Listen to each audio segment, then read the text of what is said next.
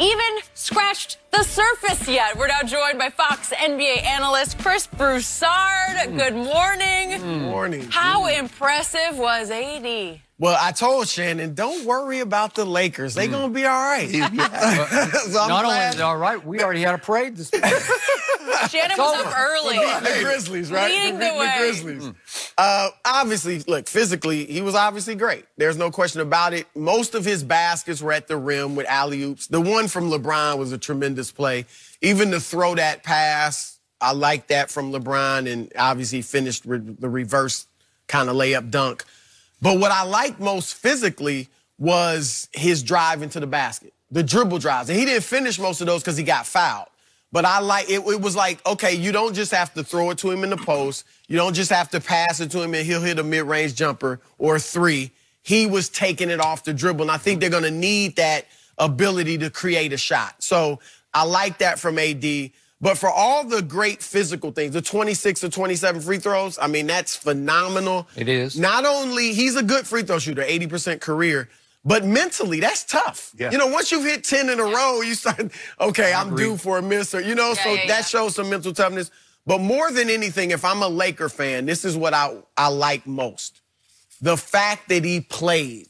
The fact that he played through the physical pain of the injury, because we know – that's his reputation. There are people around the league that will tell you he's soft. Mm-hmm. And we know he he missed 17 games on average mm-hmm. over his first four seasons. Yep.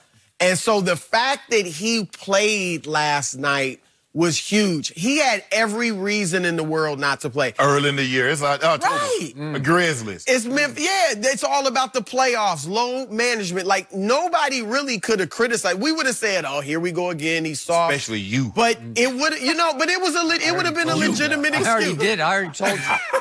it would have been a. He had legitimate excuses. I think you saw him with the thing yeah. on his shoulder on yep. the bench.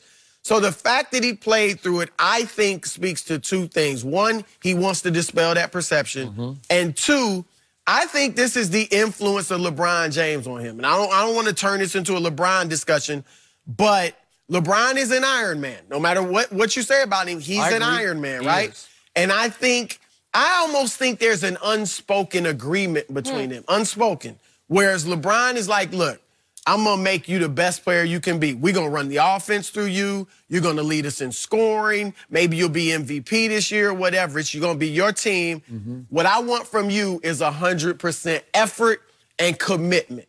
And I think I think if he's in New Orleans, he probably doesn't play last night. But I think not only being with LeBron in LA, but being a part of Klutch and having, you know, access to LeBron, just seeing how hard he works off the court to get in shape. I, I, think that's rubbing off on AD, and I think it was mm. good. I like the aggressiveness skill because he has a, a hurt shoulder. Putting the ball on the court, put it on the floor, going to the rim. You know you're gonna collide. You're gonna bang shoulders. Like you know what? Let me just spell this. Mm. Show everybody why I'm why Shannon Sharpe picked me to be the MVP. Mm. Told you you're gonna be the MVP. Yeah. And I believe 28, 14 in two and a half with 56 wins would do that just quite really? nicely. quite help, nicely. Help me out. My memory fades. How many did you score against the Clippers in the fourth quarter? Help me out. Uh, Skip, that oh, oh, one for two. Skip, you do know. Same amount he scored last, last night. He scored none last night. In the yeah, fourth no, we rest, he watched. We rested. Skip, yeah. you do know you're allowed to have a bad game or oh. a bad game or a bad quarter against a good team.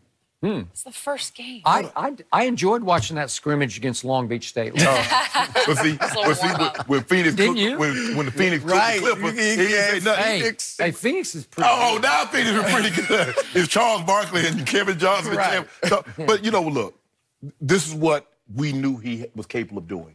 And I think the thing is, like you said, had he been in New Orleans, he probably would not have played because it's like, I'm in New Orleans. When you put up these kind of numbers, because it's not like Anthony Davis hadn't had a 40-20 game. He's had a 59-20 game. But when you do that in the purple and gold, it's something about when you do something as a big in the purple and gold. Mm. It has meaning, it has value. Mm. And now he's playing for something. He realizes that he has a realistic chance at getting to winning an NBA championship. I don't know deep down if he ever really thought that, Skip, because, you know, look, when Golden State had that thing going on, you wasn't coming out of the West.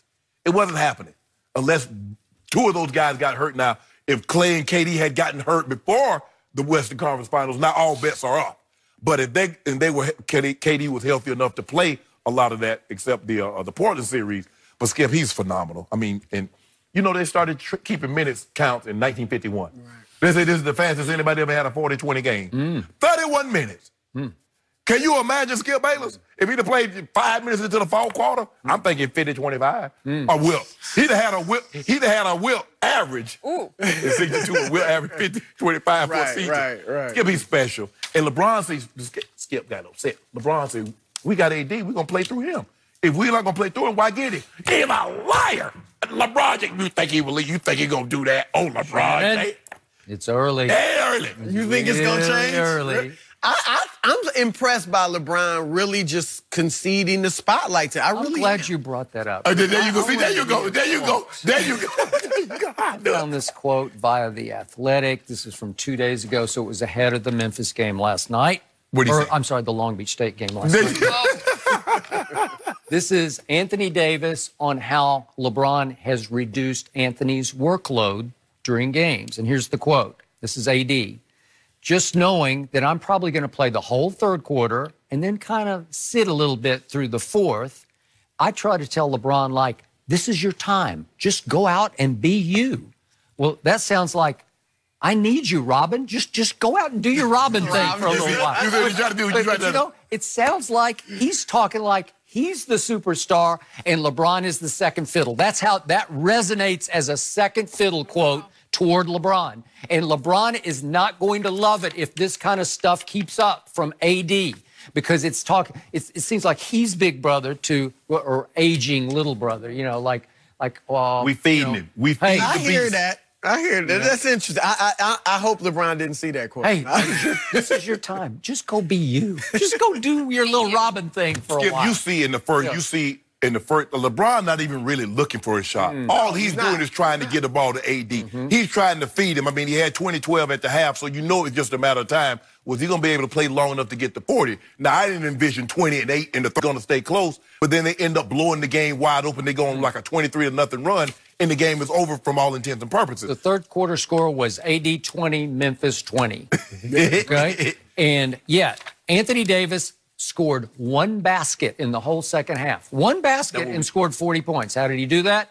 He shot 18 free throws in the third quarter alone. That's the NBA record Yep. because he made all 18. Mm-hmm. And to your point, it's hard to make five straight free throws because it starts working on your psyche. Like, wait a second, I got to make another one. James Harden can get on a roll, but but he's the only one I've ever seen do that kind of a roll. He makes 26 of 27, but the key was he makes 18 straight in the third quarter. It's impossible because who's ever shot 18? Right. Nobody ever shoots 18 in the third quarter. Right. Do the math times four. What if he shot 18 every quarter? You, you, you, it's over, right? I mean, my But he, God. I mean, but Skip, he only took one shot where they wasn't fouling him. Stop fouling Hey, him. well- you don't want him to shoot free throws. Stop fouling him. Move your feet.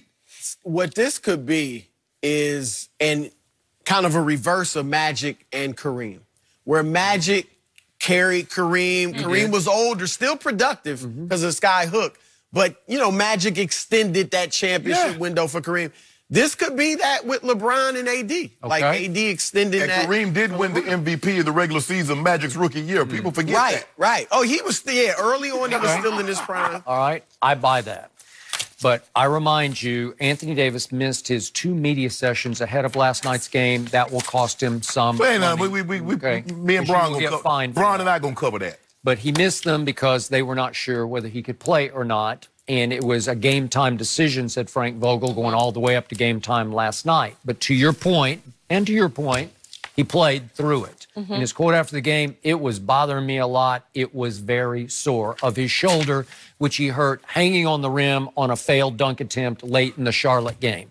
So he can be a little brittle because that doesn't seem like the kind of action that would cause you to really hurt your shoulder, but you never know. Right. And he toughed it out and played, to your point. He did that. Now, will this linger? Will this be nagging? You know what, Skip? know. When you look, when you think about it, AD was of an average height until he became a senior, and then he grew like seven, eight inches. Well, he was a guard. Yeah, so maybe maybe he grew too much too quick. Maybe. And, and everything is not collected like it's supposed to be. Okay, Because when you call him a Laker big man, I wince a little bit because I do not consider him that.